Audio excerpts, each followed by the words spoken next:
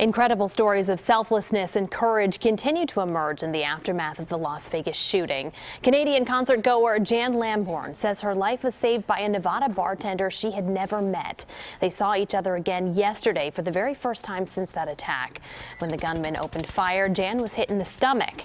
Justin Uhart put his hand on that wound and stayed with her until she was taken in for surgery.